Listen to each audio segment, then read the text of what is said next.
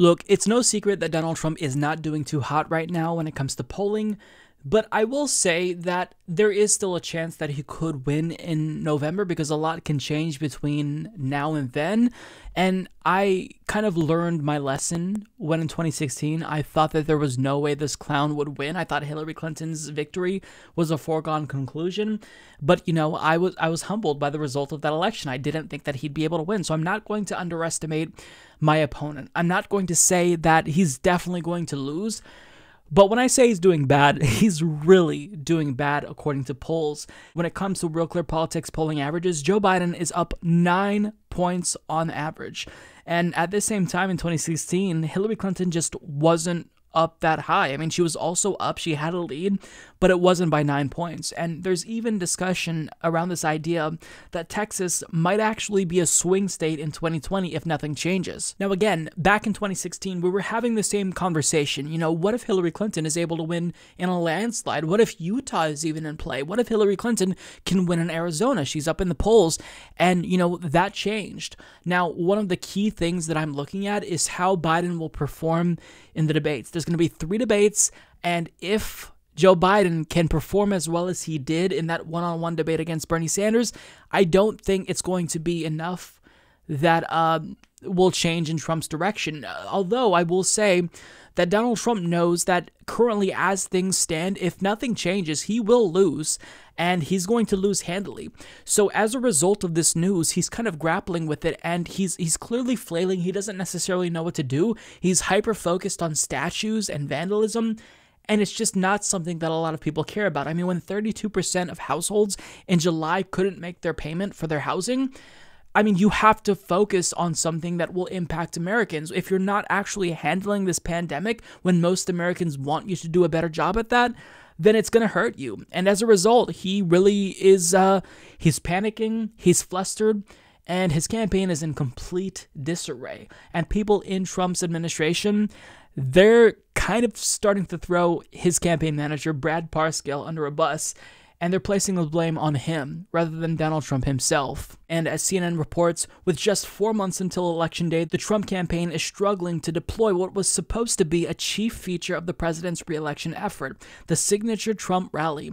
Three weeks after the poorly attended Tulsa event, the hangover is still being felt inside the campaign, aides and advisors tell CNN, and safety concerns over bad weather caused the campaign to postpone a rally scheduled for Saturday in New Hampshire, even as skies were expected to be clear by the time Trump took the stage.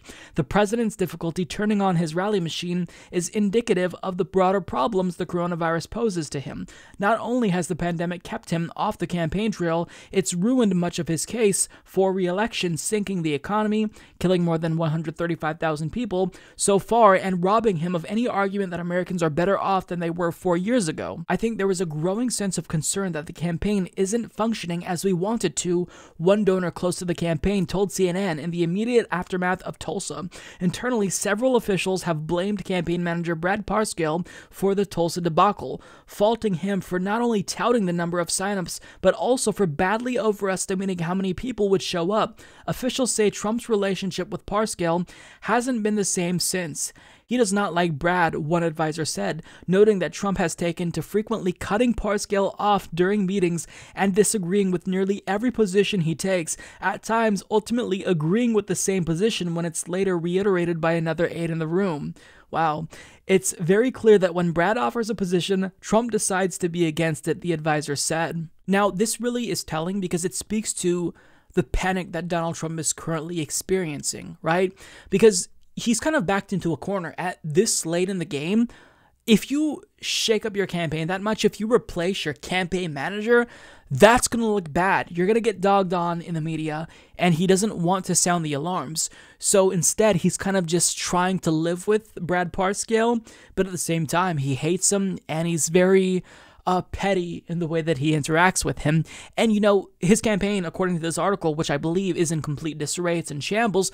But in spite of that, Donald Trump is trying to play it cool, but I'm not buying it. So, for example, he tweeted this out on June 29th. Sorry to inform the do nothing Democrats, but I'm getting very good internal polling numbers. Uh huh.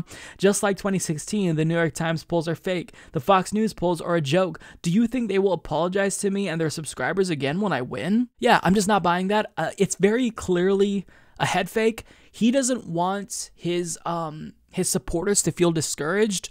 So he's trying to keep up this facade that he's definitely going to win and the polling is fake. And look, he may still very well pull out a victory. That's not inconceivable to me. But currently, he's not doing a good job. And the campaign that he's running is honestly embarrassing. And the fact that he's going with Keep America Great as his slogan, I mean, you have a pandemic, a great recession happening, possibly Great Depression going on, and you're saying keep America great, reelect me. I mean, it's honestly baffling because I thought that even as stupid as he is, his political his political instincts were better than this. But it's just he's making a fool of himself. Now, part of the thing with these rallies, it's not just political. It's not just a means to him signing up new voters, getting voter data, and generating you know the sense of excitement. It also was psychologically beneficial to Donald Trump because if he can't do what he loves doing, the only thing he loves about being president, arguably these rallies, then he kind of gets pissy. He gets moody and he starts being petty towards his own campaign manager. Um, and his mood has been down not just since Tulsa, but even way back dating to April, which is when his own advisors, um, Hope Hicks and Dan Scavino, they literally brought in big trucks to cheer him up. I repeat, they brought in 18 wheelers to put Donald Trump in a good mood. And they're having to do things like this as if he's a child because what kept him satisfied before was the rallies. That was the one thing he liked. And it's weird to me, like his rallies are strange because he's not really talking about policies. He's just kind of like freestyling it for an hour, two hours. But he loved it. He loved doing it. Nobody can deny that. You can see that he clearly enjoys doing that. But without that, if you take that away from him, especially considering the fact that it was a really useful tool to, for his campaign, I mean, you see how it affects him. He, he doesn't know how to respond. He has one setting and one setting only. And if you take away his greatest strength, then he can't go to plan B or plan C. He just kind of fumbles, right? He starts talking about statues. Nobody cares about statues. This is not a big issue. Nobody cares about this. People are worried about how they're going to put food on the table, and they're worried about whether or not them and their loved ones will be protected during a very contagious, deadly pandemic, and he's not delivering on these fronts. So, look, the one thing that I'm going to look out for are the debates. Joe Biden, whatever his staffers gave him uh, during that Bernie Sanders debate, if they give that to him again and he at least does a half adequate job, if his performance is mediocre, he'll be fine. Nothing will change, I'm guessing. Uh, but at this time, I mean, to see Donald Trump crash and burn already, you know, flame out this soon, and not really know how to recover and just kind of be petty towards his own campaign manager, I mean, it speaks to, you know, I, I, think a sign of what's to come. Now, again, I want to add that we should never underestimate our opponents, as I alluded to at the beginning of this clip. Never underestimate someone who, you know, you think is going to lose. Don't take, you know, a particular moment in time for granted because we saw how fast things changed during the primaries with Bernie Sanders when he was riding high and all of a sudden it was over.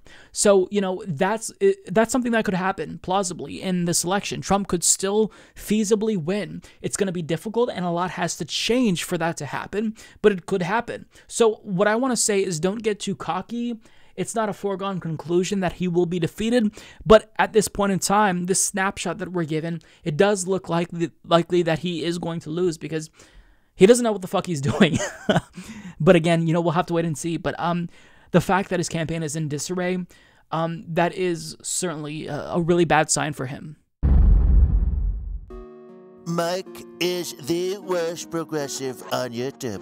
Please don't subscribe to him or become a patron. David Doel is so much better. Trust me, folks, he's doing a great job. He really is. Okay?